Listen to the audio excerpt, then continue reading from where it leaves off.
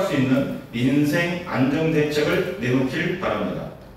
윤석열 정부와 국민의힘은 오늘 1차 당정협의에서 경제이익 극복에 한 목소리를 냈지만 윤석열 정부 출범 후 두 달을 협의했다는 점에서 만시지탄입니다. IMF 외환 위기 이후 최악의 위기가 닥쳐오고 있는 상황에서 이제야 민생 안정 대책을 가속화한다는 발표가 한가하게만 느껴집니다. 6월 소비자 물가는 6%, 생활 물가는 7.4% 각각 상승했습니다. 7월 물가는 7%대 상승을 예고하고 있습니다.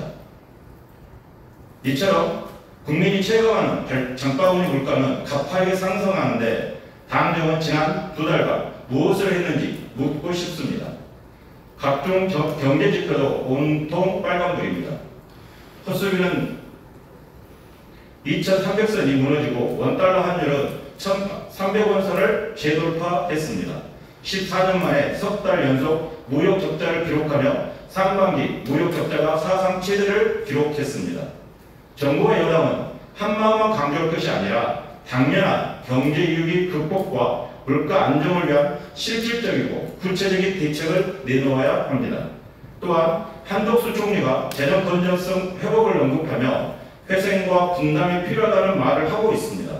왜 부자는 감세로 그 짐을 지지 않는데 서민과 중산층만이 부담을 안아야 하는지 분명한 답을 내놓아야 할 것입니다. 윤석열 정부와 국민의힘은 대호각성하고 하루빨리 취약계층 민생경제 회복에 실질적인 도움이 될 수 있는 대책을 마련하길 바랍니다.